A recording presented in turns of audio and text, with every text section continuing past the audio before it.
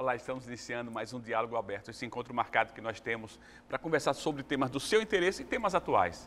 Nós vamos iniciar o mês de junho, um mês muito especial, muito festivo, né? se, se, caracteriza pelas festas juninas, pelas comidas típicas, pela riqueza do folclore, pela riqueza das cores durante esse período em todo o país e aqui na região norte, de modo particular, que a gente vai conversar. Também é um, é um momento onde se comemora muitos santos populares, né? São João, São Pedro, Santo Antônio, São, São Massal, quer dizer, são santos que fazem parte da vida cotidiana da população, do povo brasileiro e do povo aqui da região norte. Vamos saber quais são as características das festas juninas aqui na região norte. Aqui no Pará, o que é que se caracteriza? Existe muita diferença entre as várias regiões no mesmo estado e na, na Ilha do Marajó? Nós temos dois convidados especiais, pessoas que têm experiência nesse campo, que é uma alegria, eu agradeço realmente a presença de vocês. Nós temos o Agenor Sarraf Pacheco, que é doutor em História, bem-vindo ao nosso programa. É uma muito alegria tê-lo aqui para a gente conversar de um tema tão assim palpitante né, nessa época junina. E Iracema Oliveira, do Grupo Frutos do Pará, né, do Pássaro, muito conhecida, todos vocês certamente aqui no estado do Pará conhecem a Iracema. Bem-vinda também ao nosso programa, Iracema. Eu que agradeço.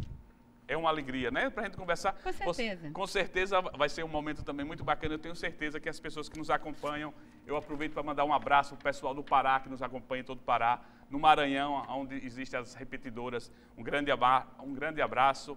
Mato Grosso, Rondônia, Acre e Amapá. Uma alegria saber que vocês estão nos acompanhando e acompanhando o diálogo aberto. Vamos falar um pouco do mês de junho. Né? O mês de junho tem essas características das festas juninas. Eu queria que vocês dessem uma panorâmica geral, como é que eu posso dizer assim, da beleza e das características dessas festas juninas. Talvez começar com Agenor. Como é que ele analisa é, esse período junino que é tão rico de manifestações folclóricas, de manifestações culturais? Como é que você faz uma análise geral para quem está nos acompanhando sobre esse período? É, o mês de junho, para mim, ele é um mês de fato festivo. Ele tem uma poética, uma estética e muitas cores e luzes que me parece que ele se distingue de outros meses, por exemplo. Pegando, pensando aqui o mês de junho, né? É, a população, especialmente as pessoas ligadas a determinadas manifestações culturais, elas se mobilizam. Claro, elas se mobilizam inclusive antes tem grupos parafolclóricos, grupos de dança, de teatro, é, grupos de carimbó de música, que se organizam, na verdade, desde o início do ano para começar a pensar o que vai ser vivido, experienciado e praticado neste mês. E é, eu vejo que as pessoas de distintas classes sociais, elas se mobilizam em torno deste junho. Por exemplo, as escolas, os professores, desenvolvem uma série de projetos educativos e as próprias crianças, elas começam a se mobilizar e ficar também muito alegres e agitadas para viver essas experiências. E então, de fato, o mês de junho é um mês de muita alegria. Eu acho que também é um mês de congraçamento, é um mês de encontros, de sociabilidades, em que tradições e modernidades recriam a vida. E depois tem um aspecto que me chama muita atenção, que envolve toda a comunidade, desde a criança até o mais adulto, a pessoa da terceira idade, pessoas mais, vamos dizer, da elite ou pessoas mais populares, mas é, são, são manifestações que conseguem envolver toda a população, na verdade, você como estudioso. É, de fato, se a gente pegar um pouco da história dessas manifestações, é claro que algumas delas, ou a maioria, têm uma tradição popular vem de culturas de tradição oral. Outras começam com as elites, mas os populares se apropriam e ressignificam e mobilizam a todos. O mais incrível é que, por exemplo, nos espetáculos, seja em espetáculos fechados ou abertos, especialmente os abertos que a gente acompanha, por exemplo, aqui em Belém, tem dois grandes lugares que a gente vivencia, que é a Praça Valdemar Henrique, o Centur, além de outros lugares, obviamente a gente percebe que pessoas de distintas classes sociais e pessoas de diversas faixas etárias, elas participam e vivenciam. Eu, por exemplo, é, tenho uma, uma trajetória, desde muito pequeno, meu pai e minha mãe sempre viveram isso, fizeram, e eu acabei também fazendo e vivendo.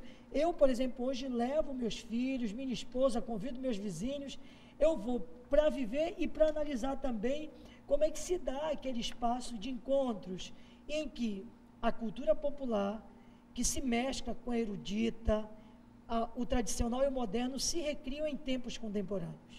Interessante. Iracião, você que tem experiência também ao longo de todos esses anos acompanhando, como é que você vê essas manifestações que acontecem nesse período, no período junino? Menino, quando chega junho, a gente chega, eita pessoal, chegou São João. Porque o São João para nós, por exemplo, nós que lidamos com a cultura popular, propriamente dito, que é, que é justamente o pássaro, o, a pastorina, a pastorina que é só dezembro, né?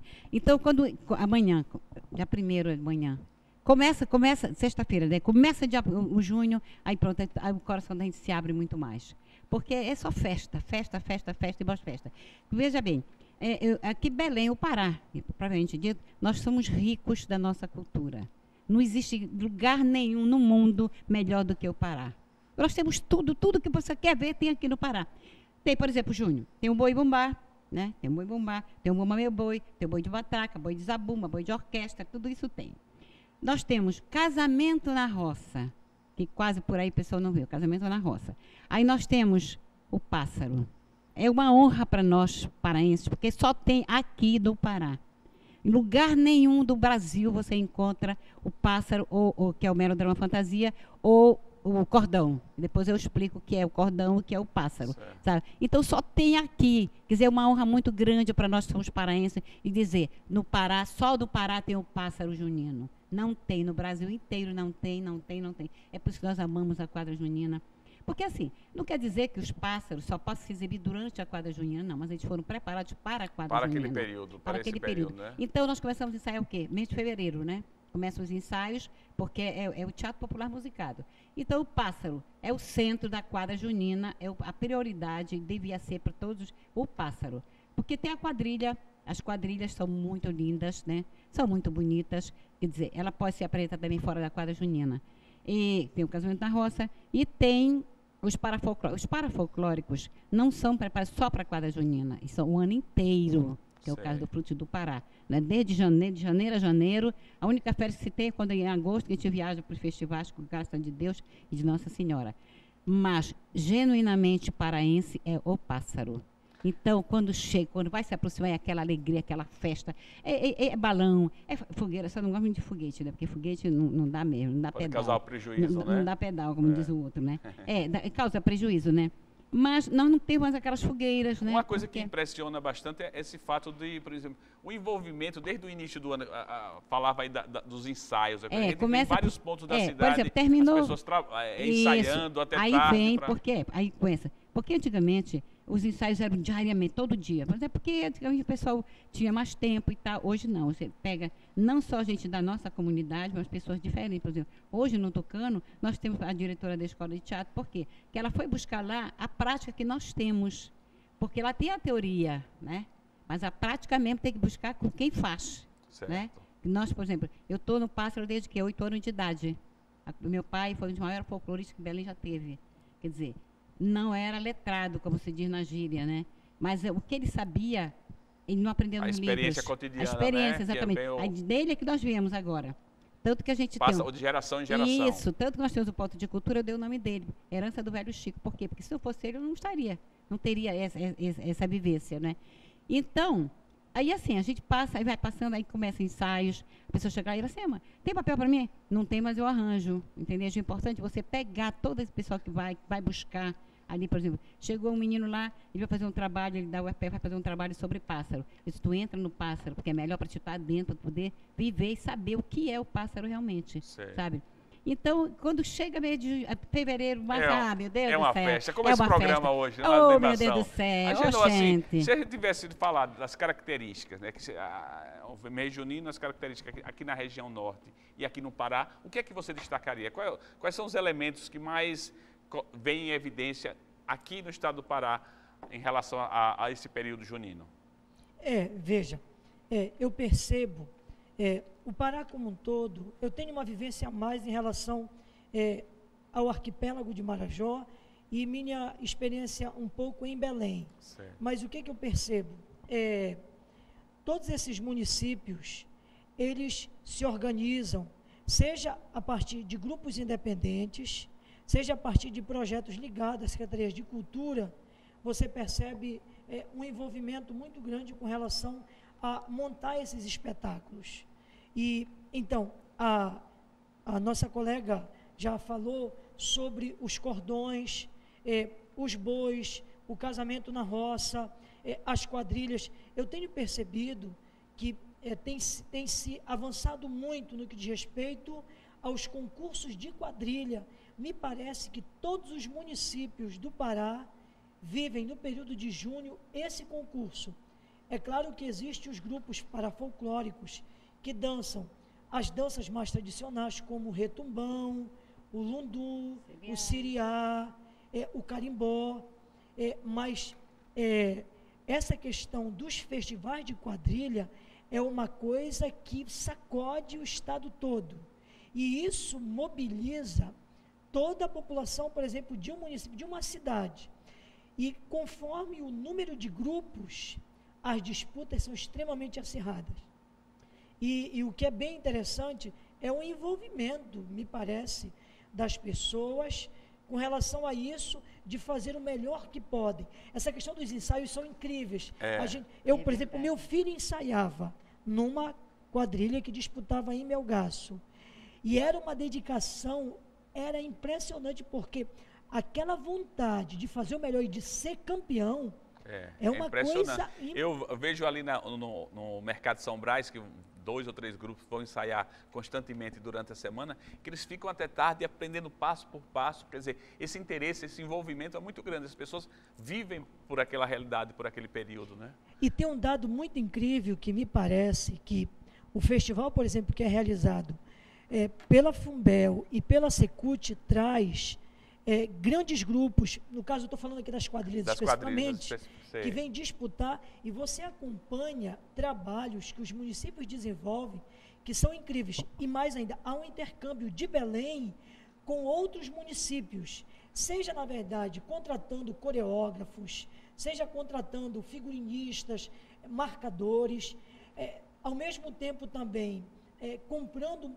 roupas, a gente acompanha muito isso. É, eu penso uma riqueza, uma variedade, uma, né, um colorido. E é uma troca, e é muito interessante isso. Então, me parece que esse mês de junho, uma das questões dos espetáculos que é muito é, visível e que eu acompanho são os festivais de quadrilha. Que... Falando em festivais de quadrilha, deixa eu interromper um pouquinho. Como é que você vê um pouquinho essa questão, por exemplo, antigamente se faziam muitas quadrilhas, se distribuíam nos bairros, na, na, nas cidades. Hoje em dia existe uma concentração né, para o julgamento dessa, desses festivais, dessa, desses concursos de quadrilha, existe uma concentração. Isso não, não corre o um, um, um, perigo de perder a identidade. E você, como um estudioso, como é que você vê esse aspecto de se concentrar tudo em poucos lugares, enquanto que é uma manifestação que envolve a, as pessoas, as comunidades, os bairros, as cidades? Há duas leituras bastante distintas com relação a essa temática. Uma primeira é que, de fato, se você pegar um pouco da história desses grupos de dança, é, que nascem tanto em cidades quanto em espaços rurais, a história desses grupos está muito ligada à vida, ao cotidiano, ao fazer. Porque o tempo da festa é o tempo da celebração e é o tempo de festejar a fartura, por exemplo, a boa colheita. Se você pegar a origem dessas tradições, você vai ver isso. Então, o que, que ocorre? Nas cidades, é, Belém, por exemplo, os bairros antigos tinham as muitas quadrilhas que faziam essas apresentações não com o objetivo de uma disputa, mas no sentido mesmo de, de vivenciar e de mostrar a sua arte. E era um momento mesmo de encontro das famílias, dos parentes e as comidas típicas. Era um tempo de renovação das tradições. Obviamente, com uma política é, de trazer para um espaço mais fechado, isso você perde um pouco dessas características de como é que eles festejavam. Da naturalidade, da é, simplicidade. da... E o significado, porque essa é uma questão central. Existe um significado para as pessoas ao fazerem a quadrilha no seu bairro, que tem toda uma história de vida, uma mobilização, uma sociabilidade, e, e depois, quando essa quadrilha ela sai e vai disputar num lugar mais fechado, a relação, na verdade, da população do bairro com aquele grupo modifica-se. Inclusive o significado do que é participar desses tempos juninos. Não é? Então, eu acho que tem. É, a, a identidade, na verdade, ela se recria, ela ganha um outro significado. A identidade é um processo de luta cultural que você tem perdas e reapropriações e ressignificações. Certo? Por exemplo, nos passos, a gente está falando da quadrilha, né? muitas vezes se tornam passos muito estilizados, ao invés de muitas vezes valorizar é, a criatividade de, né, da, da, pessoa, do, da, daquele casal, daquele grupo, muitas vezes tem que fazer muito, não é, vem em evidência assim em alguns aspectos. Não sei como é que você vê isso, mas a gente muitas vezes assim nessa nesse afã de fazer uma coisa para competição, para coisa, pode ter esse perigo de perder algumas características que são importantes. Oh, é, tanto na verdade os pássaros, na minha leitura, as quadrilhas, por exemplo, existe um grande embate e conflito com relação aos tipos de quadrilha, inclusive os concursos. Tem lugares que fazem concurso para quadrilhas tradicionais e quadrilhas modernas. Existem outros lugares que não estão preocupados com isso. Eles fazem um concurso de quadrilha Geral. e Geral. os grupos, na verdade, se apresentam da maneira como querem. E o resultado, muitas vezes, ele, ele é questionado. Se o grupo de jurados tem uma leitura de que as manifestações elas se recriam e se reapropriam, eles olham vários elementos e podem pode vencer uma quadrilha moderna ou uma tradicional. Mas se tu tens um jurado que está muito fixado numa percepção tradicional de que a quadrilha de fato deve ser típica, deve preservar isso, vai ganhar sempre a quadrilha tradicional. Inclusive, isso tem sido pontos de embate que alguns municípios acabaram fazendo dois concursos. O que, que eu vejo na minha leitura? É? é, eu penso que os grupos, eles definem uma estética, um sentido e como é que eles vão fazer. Obviamente, as tradições elas não morrem, elas se recriam, na minha leitura. E você está em diálogo com uma sociedade moderna, tecnológica, globalizada. É uma e, realidade viva. Para mim, e, e, o, e o popular, ele tem uma capacidade de se recriar usando a técnica e a tecnologia. Então, é, eu não vejo a dominação da globalização, da tecnologia, das novas mídias chegando e destruindo. Como um perigo. Eu não vejo.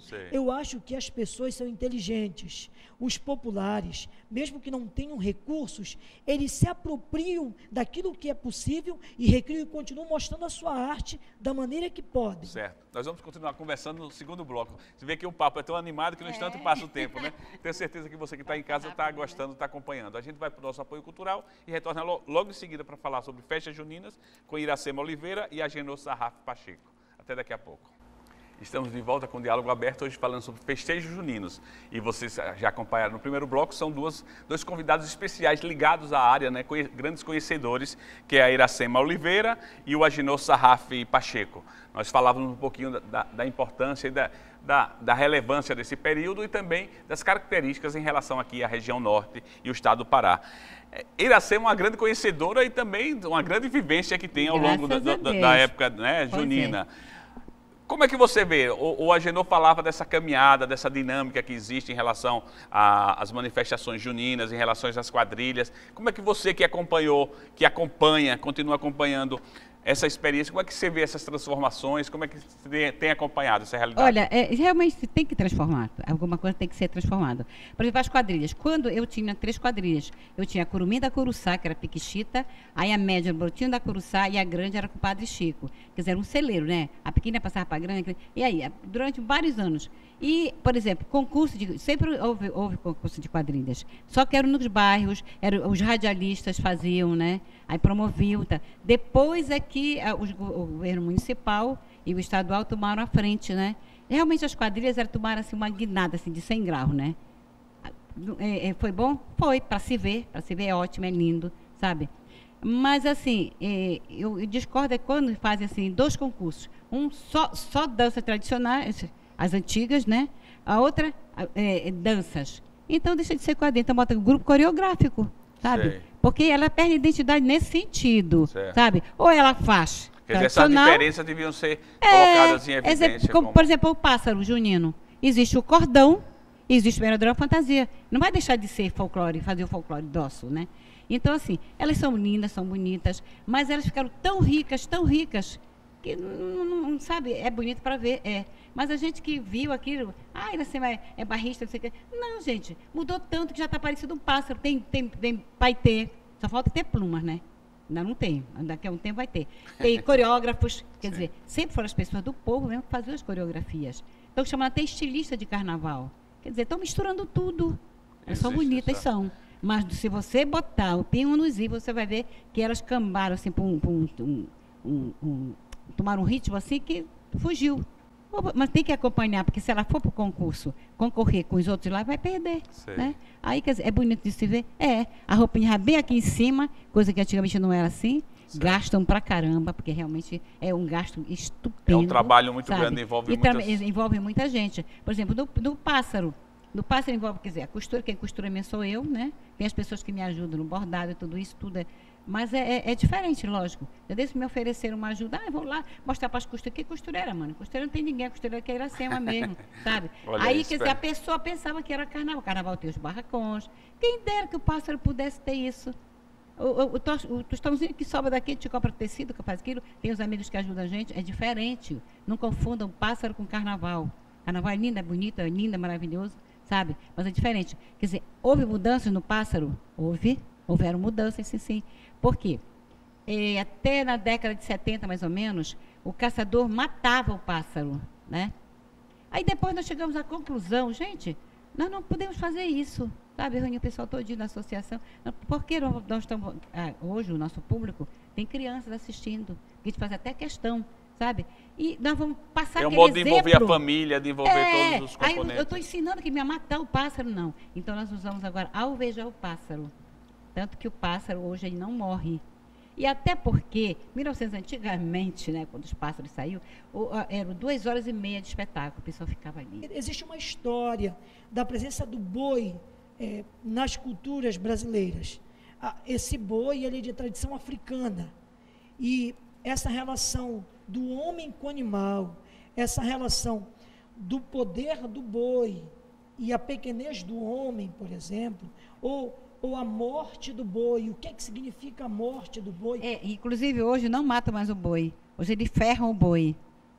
Houve a ferração Houve também. Essa exatamente, é mesmo, exatamente, é, porque é, para não que ensinar. Que eu vejo assim, é, esse discurso ecológico de defesa do meio ambiente que é uma nova significação Isso. que está sendo um discurso politicamente correto como Isso. se usa, né? Agora veja, nesse sentido, a, por exemplo, a ideia de matar o pássaro ou matar o boi não significava dizer, no sentido daquela cosmologia, daquela cultura, a questão de um desequilíbrio ecológico. Não era esse significado.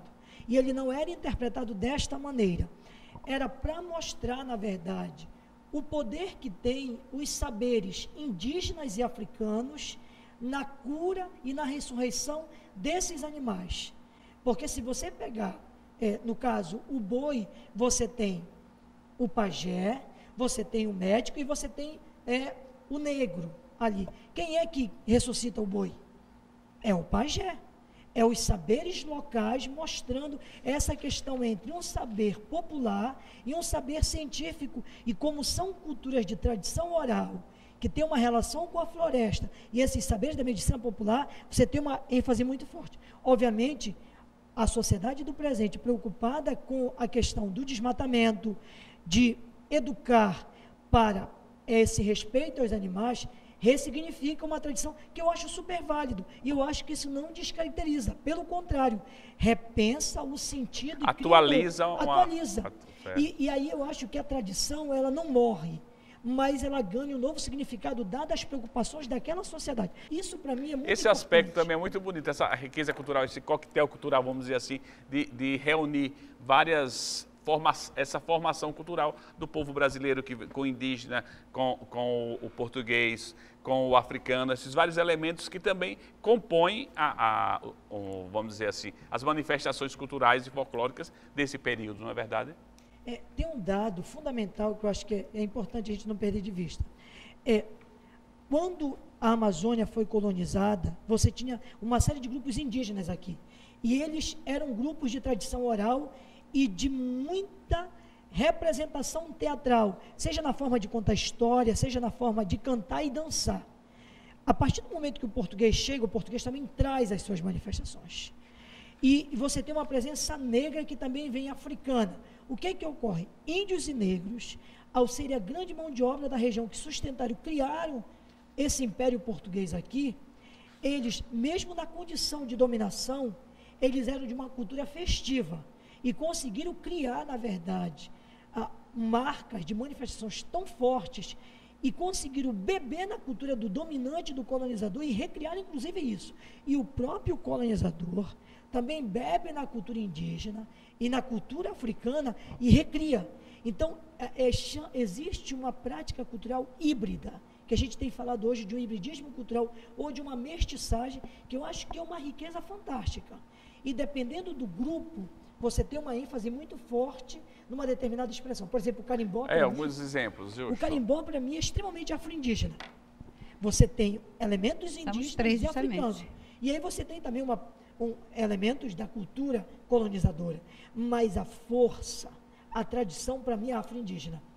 O lundum, por exemplo, é uma dança de traço extremamente sensual africano, mas que acaba ganhando na sua história elementos da indumentária eurocêntrica, europeia e também, na verdade, indígena na, no momento que se recria. Então, é, na minha leitura, às vezes não dá, é, Eduardo, às vezes para tirar qual é o fio indígena, qual é o fio negro. Já existe uma. É, já está tão, né? tá tão correlacionado que parece-me que o sentido de ser tem que ser visto na relação e não na separação. É porque, dizer... é porque da miscigenação foi que nasceu o carimbó, né? Que é a mistura. É o branco, o negro, né? E o índio. É justamente daí foi que nasceu, surgiu o carimbó daí, dessa miscigenação. É, esse, esse fato de, de, existir sempre esse, vamos dizer, essa renovação, é, é, é quase que uma, uma, um novo significado dessas manifestações, como as pessoas se manifestam, ou esse envolvimento de várias culturas, tem o perigo de perder, vamos dizer, a originalidade ou adquirir um novo significado. É, nós sentido. estamos preocupados, às vezes, em, em preservar ou buscar os elementos de uma essencialidade que na prática os populares não estão preocupados. Eles vivem isso como o sentido da própria vida, é aquilo que anima. Veja só, por exemplo, as próprias quadrilhas que saíram dos bairros e vieram para os espaços de disputa, vem a quadrilha X do bairro X, vem uma população toda torcer. E eles acompanham. Eles têm parentes, filhos, namorado, pai, mãe, enfim. E, e aí eles estão vivendo aquilo como um tempo também de celebração e um tempo de lazer. É, é um tempo é, fantástico, que faz parte da sua vida. Da sua... O trabalho tem sido tão difícil, a vida cotidiana não é fácil, são pessoas de camadas pobres, mas é impressionante o envolvimento que elas dão. Eu acho que a dona Iracema pode falar bem disso. Como é, quem são essas pessoas que, que trabalham com ela, não é? é. E o que, é que ela percebe é. isso? Olha, a gente é, pega a comunidade, por exemplo, eu sou. Eu, ah, assim, qual é, qual é meu vestido? Teu vestido deve ser assim. Aí, quer dizer, são costureiras, são amigos, tudo é da, da vizinhança, né? Aí me ajuda a bordar, me ajuda a costurar, por exemplo, eu pego as meninas que saem, são mocinhas, porque Sei. o tucano vai de 5 anos em diante, né? Porque eu, por que eu uso mais crianças? Porque a gente tem que botar o um amor pela cultura popular, sabe? Então, por lá é o seguinte, se passa, a gente tem que ensinar, ela tem que passar para poder brincar no pássaro tal e tal, mas vão para lá, faz um mutirão, vão aprender a costurar, vão aprender a bordar, a, a, a pregar ilhosta, essas coisas todinhas, quer dizer, então a gente reúne o pessoal para ir para lá, porque pagar a gente não pode mesmo, né? Então tem que ensinar todo mundo. Existe uma, a, pela experiência que você acompanha da semana, você nota que existe uma renovação, as, as novas gerações participam Participa, desse movimento, se né, cri, Com certeza. criam ideias novas é, também, quer dizer, dão a, a, própria contribuição. Exato, inclusive, é, é, hoje no pássaro, não só no tucano, como nos outros pássaros, tem pessoas já da escola de teatro, pessoas da universidade, querendo brincar com porque nós somos brincantes, né? São atores lá fora, mas lá conosco são brincantes. Por que são brincantes? Porque são é, preparados para brincar o São João, entendeu? Então, é, é, são pessoas que vão buscar uma outra, uma outra cultura, quer dizer, um outro ensinamento, quer dizer, que é o teatro diferente, Né? Por exemplo, no teatro você pega a peça inteirinha lá, não, são papéis destacados, você faz isso, aquilo, aquilo, a gente coloca à vontade. Então eles terminam e, entrando na família, né? Aí vão bordar, vão costurar, aí tem dia de ensaio, aí, por exemplo, a cena é aquela cena, aí chega, aí você, sai melhor assim? Quer dizer, eu não mando, no, eu não, não, determino, você faz isso. Então, eu coloco a pessoa à vontade, para se sentir à vontade. Quer dizer, hoje vem outras pessoas se juntar a nós. Né? Não são só aquelas pessoas que sempre saíram no pássaro, não. São outras pessoas que estão vindo. E você nota, Iracema, assim, essa, essa mudança, por exemplo, mesmo no, nos, nos trajes, no modo de fazer, no modo de, né, de dançar, no modo. Você vê essa. Como é que eu posso dizer? Essa continuidade, essas mudanças, essas transformações? Não, a gente sente porque quando eles veem a roupa, né? Chegando você está é, preparando a roupa da Índia favorita. Esta é minha roupa, e agora você vem para cá, vem aprender a bordar. Quer dizer, fica todo mundo entusiasmado, né? Porque ninguém sabe o trabalho que a gente tem para preparar essas roupas. Quer dizer, na maioria a gente reforma. É do jeito, a gente faz, faz vai, reforma do outro jeito, porque a gente não existe subvenção para os pássaros, né? Sei. Existe uma ajuda é, né, né, para pagar o, o, ônibus no dia que sai, pagar os músicos, que são músicos profissionais, né? Não é o caso do Fruto do Pará, que são os músicos são nossos mesmos, sabe? Então, a gente prepara, aí quando sai, meu Deus, aquelas roupas de que cada personagem troca duas roupas ou três, dependendo, né? Isso é só troca duas, que não deu para botar três, né?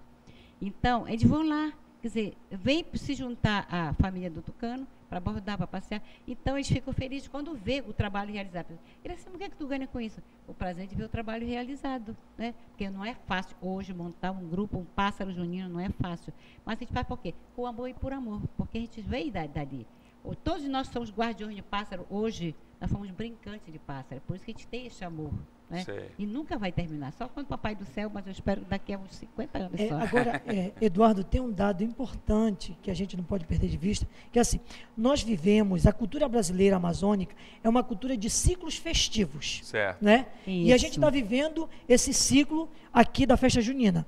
É, esses tempos atuais, em que, na verdade, as próprias gerações é, mais antigas também se envolvem com as novas manifestações, existe um processo que está sendo vivido é, em toda a Amazônia. Eu vou pegar um pouco do Marajó, que é a questão das festas de micaretas, que elas aparecem e as pessoas começam a sentir esse distanciamento é, dos grupos, inclusive nas formas de viver a festa junina. Inclusive, por exemplo, o carnaval os blocos tradicionais, né?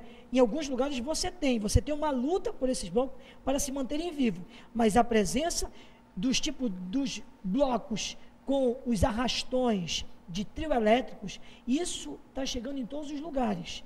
Então, me parece é uma febre, né? que a festa junina, ela, além de ser um tempo de ciclo, ela renova a possibilidade de essas tradições se mostrarem como ainda presentes. Certo. mas elas de fato elas não são mais como eram no passado. E existem relações de poder nisso, de interesse, de políticas de investimento que dizem muito. Um dado município, por exemplo, às vezes, ele consegue fazer sempre as suas festas juninas de maneira brilhante, mas é porque há investimento para aquilo. E a própria sociedade é uma sociedade que cobra. Os grupos se organizam. E existe também um trabalho muito próprio dos grupos.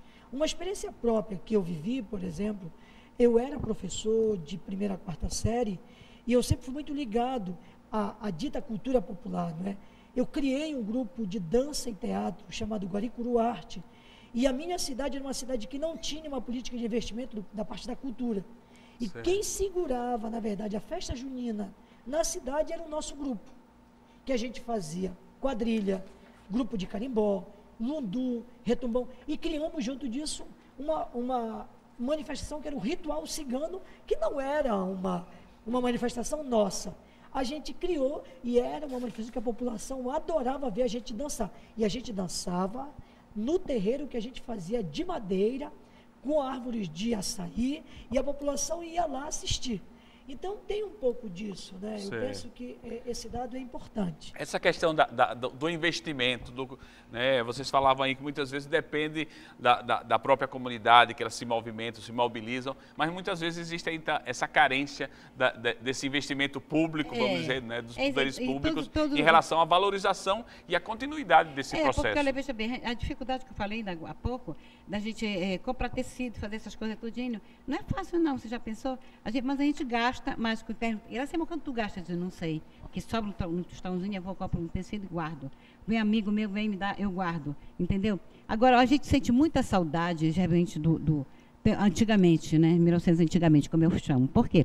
Pessoas dizem assim, era melhor antigamente ou hoje? Gente, antigamente era antigamente. Porque é o seguinte, ti- existia para os pássaros, existiam espaços físicos que hoje não tem, infelizmente, sabe? O espaço físico, quer dizer, cada bairro, telégrafo, tinha o Novo Prado, era o que era o Novo Prado? Era um parque de diversão, né? Aí tinha as barraquinhas, no centro tinha o- um, um- onde o boi se apresentava e tinha o teatro de madeira. Aí você vinha para Pedreira. Pedreira tinha, União, tinha o Paraíso e tinha o Estrela d'Alva. Aí você ia para o Jurunas, tinha o famoso, o famoso Imperial e Universal. Aí depois você vinha para o Guamá, 11 bandeirinhas. Dizer, tudo isso era espaço para os pássaros se apresentarem. Hoje, a única coisa que a gente lamenta é não ter. A gente pensou em ganhar o Teatro São Cristóvão, acabou, está tudo caído lá. Né? Quer dizer, os pássaros não têm um espaço deles, sabe? A única coisa que a gente sente falta realmente, não, porque onde, onde, o pássaro chega, ele vai, ele se apresenta, que não é legal, é, ele é para palco. Vamos torcer para os poderes públicos se Ai, Deus aqui, sensibilizarem, né? é, deixa eu, porque aí é o essa... seguinte, dentro desse espaço físico, os pássaros estão, Deus o livre, vão fazer programação, sabe? Ah, porque vocês não fazem festa, não adianta fazer festa que nossos brincantes não são disso, sabe? Sei. Então, assim, o que a gente quer mesmo é, a mídia está em cima, graças a Deus, hoje a gente tem a mídia divulgando os trabalhos, que antigamente não tinha, né? Tinha o povo. E existia concurso de pássaros. E era pago. Ou se você fazer um espetáculo de graça, você tem que avisar, pegar as rádio e televisão para anunciar para poder ir gente. Mas por quê? Falta da mídia, falta dos poderes públicos, investir nos pássaros, que só tem em Belém. do Então, não, então vamos fazer o seguinte, depois, depois do, do apoio cultural, a gente continua conversando. Dá tempo de você que está em casa aí beber água, depois retornar para a sala para continuar acompanhando o diálogo aberto sobre festejos juninos. Até daqui a pouco. Estamos de volta com o Diálogo Aberto, agora o terceiro bloco. Eu tenho certeza que você que está nos acompanhando está saboreando. Como a gente fala de festa junina, também fala da, da questão do, do sabor, porque existe muito, né? A questão da culinária é muito rica. Tenho certeza que vocês estão nós todos nós estamos saindo enriquecidos com um bate-papo que está acontecendo aqui no, no- no nosso programa, né? Vocês acham que essas manifestações, eu pergunto aos dois, continuam fortes? É, No Pará, se a gente for pegar os municípios do Pará e pegar um pouco da história desse município e como é que ele está organizado, tanto do ponto de vista governamental quanto da sociedade civil, você pode ler isso com relação às manifestações, como é que esse lugar se relaciona e luta para preservar e para que essas, essas manifestações continuem vivas. Então, veja, é, o que, é que eu percebo? Nós estamos num tempo em que novas manifestações, elas aparecem, elas dialogam com as tradicionais, as tradicionais se recriam, elas lutam para se manterem vivas. Por exemplo, hoje a gente está vivendo um tempo de muito tecnobrega, melody, outras manifestações, os carnavais de micareta. Eu acho isso genial. Agora, é, o que, que tem acontecido com relação aos, às quadrilhas, aos pássaros, aos bumbais? É, eu percebo que é preciso pensar isso como patrimônio cultural paraense. Sei. E, e é preciso que o Estado, a própria sociedade civil, se organizem para que a sociedade, na verdade, ela crie relações de identificação com essas manifestações, que as novas gerações É um trabalho apreendam de educação, de né? educação. E aí eu acho que educação patrimonial. É, existem escolas que desenvolvem projetos belíssimos de pesquisa nos bairros para saber quais eram as manifestações dos bairros. E essas manifestações elas são pesquisadas, estudadas, as crianças aprendem, as crianças percebem, inclusive, a história e começam a perceber a história da manifestação ligada à sua família e às suas próprias origens. Isso passa a ter um sentido para essas crianças, para adolescentes, e aí a partir daí elas passam a ser, inclusive, divulgadoras e defensoras desse patrimônio. Essa valorização, colocar na, na nossa literatura, colocar na nossa arte, nas nossas manifestações, essa, esses elementos, esses, é, quer dizer, registrar na história esses elementos, como é que você vê isso? Oh, eu vejo um, um, uma questão fantástica. É, as diferentes formas de registro, seja na verdade o escrito, seja o visual, seja o audiovisual e, claro, o oral, que é a grande tradição, são formas muito fortes de marcar a presença disso. E tem um dado fantástico: se a literatura foi, por exemplo, a literatura de Bruno de Menezes, de Dalcin Jurandir, aqui na região, para citar dois com os quais eu trabalho, se elas foram uma literatura que elas registraram isso, hoje elas servem também para a gente voltar a elas e nos reencontrar com o passado para trazê-las para o presente. Então, por exemplo, essa gravação nossa aqui já é um registro é, de posições e de vivências que alguém depois pode retomar isso Nossa. e repensar. Então, por exemplo, as filmagens dos festivais, é, seja no bairro, as fotografias, não é? os relatos, os relatórios. Eu acho isso genial, porque nos dá a possibilidade de sempre se reencontrar com esse passado. Obviamente, o passado passou. O que você faz, uma Mas leitura, registrado, é, né? você, né? você reencontra e recria a luz do tempo presente e dos significados do presente. Entendeu? Eu acho que isso é importantíssimo. Nós temos aqui grandes, grandes, grandes poetas, grandes pessoas que podem escrever, é, escrever sobre o nosso trabalho, não só da Iracema, de toda, de todo o, a quadra, da quadra junina, mas eu me refiro que é o pássaro, né? Sei. Não desfazendo das, dos outros segmentos. Não precisa vir lá de São Paulo para escrever sobre nós. Nós temos aqui quem faça isso. As pessoas que vivem aqui, sabe? como eles citavam... Lógico, exatamente, ele está é, certo. Os, sabe? Aí dizem assim, ah, porque os pássaros morreram. Morreram não, os pássaros estão aí. Falando dos pássaros, conta um pouquinho. É, você está ligado ao grupo Frutos do Pará, está ligado aos tá pássaros, está ligado toda a caminhada. Isso. Como é que um pouquinho dessa história? Conta para gente, para quem está nos é, acompanhando. É, olha, e, todo mundo sabe que eu comecei. De, é, eu comecei. De perpetuar aquilo que Isso. Dizia, de manter pode, a tradição. Pode gravar e ficar, porque isso aí vai ficar na história, né, mano? Com certeza. Então, assim, eu vim de baixo, como se diz na gíria, né? Vim, de pastorinha, vim de pássaro, acompanhado com meu pai. E, então, assim, depois eu entrei no rádio, já estou há 58 anos, com a graça de Deus Nossa Senhora, e vou continuar ainda. Estou de férias, mas vou continuar. Então, assim, aí nós tínhamos o Pássaro, que é em junho, né? Aí terminava dia 5 de julho, eu encerro. Aí, quando em dezembro, eu tenho a pastorinha, que eu sou, com a graça de Deus, mestre, mestre em pastorinha pelo MIC. E ficava julho até outubro sem nada, né? Aí a Nazaré, que é minha nora, e o Paulinho, mãe, aí, nesse tempo ainda não era, né? Bora formar um grupo de dança para segurar os jovens porque a gente tem um trabalho social com eles, tá? Procura saber como é que ele está no colégio, como é que está em casa, porque para nós não interessa só ali aquele momento, não, quer saber a vivência deles também, para a gente poder puxar a orelha quando é necessário. Então, nós fundamos o Frutos do Pará, que era o outro nome, questões políticas, anos depois nós mudamos. Aí ficou Frutos do Pará, o que é o Frutos do Pará? São brincantes também, que eram do pássaro tocando, né?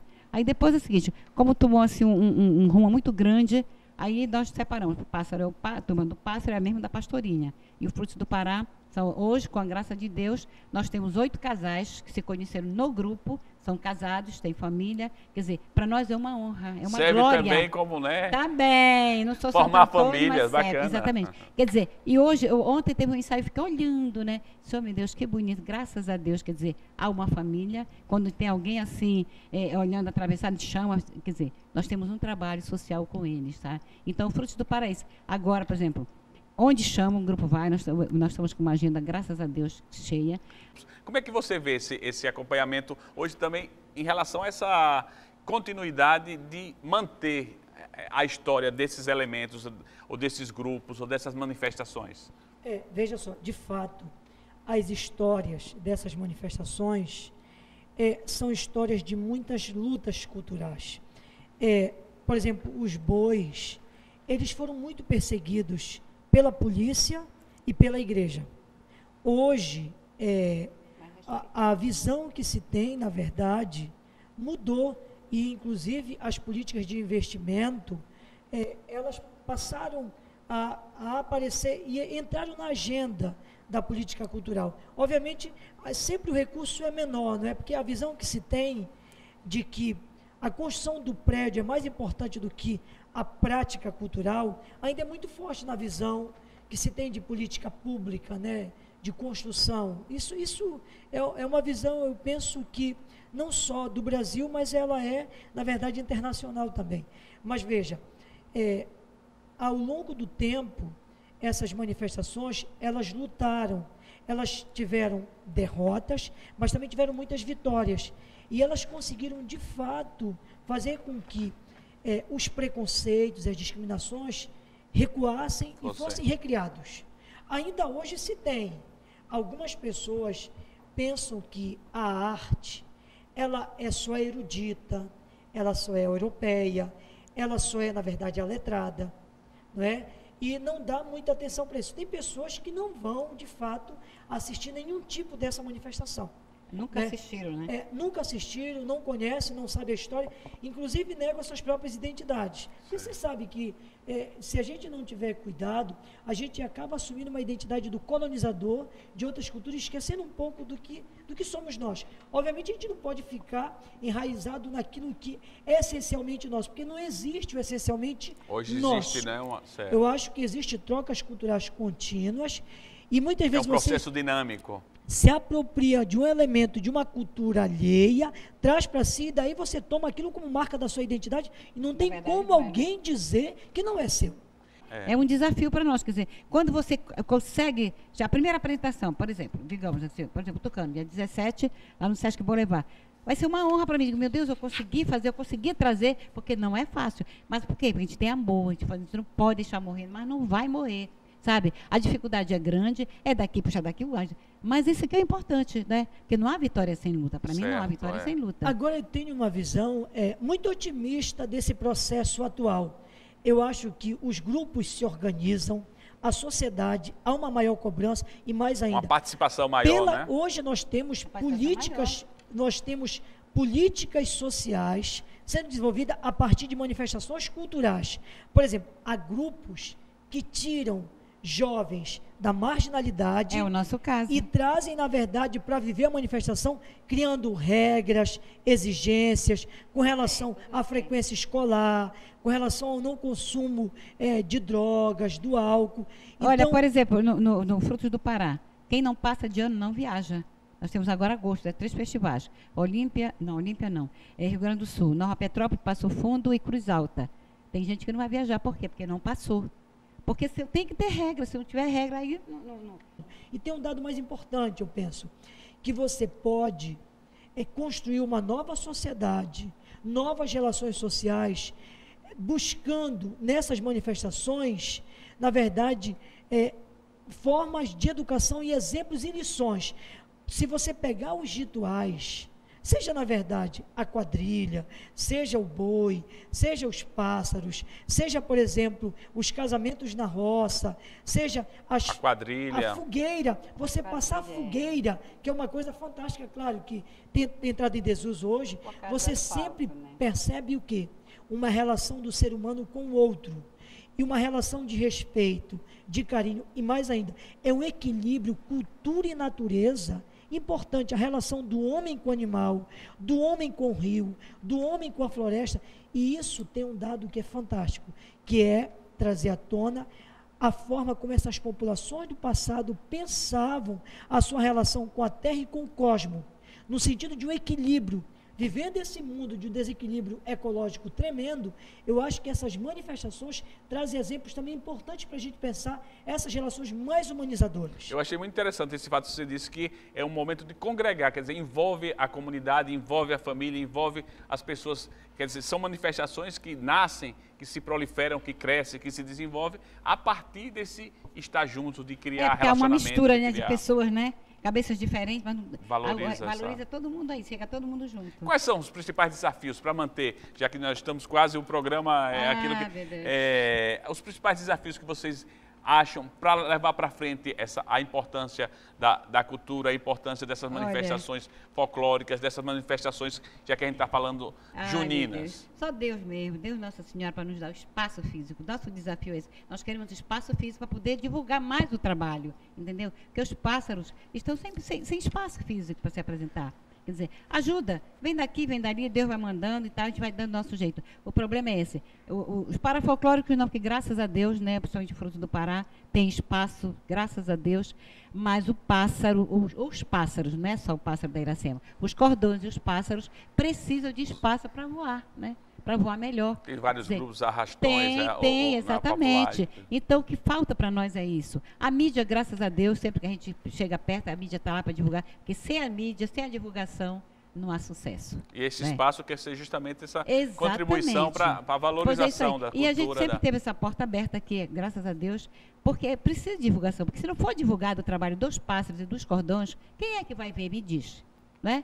É isso que a gente cobra sempre, quando chama a gente para reunião dos poderes aí.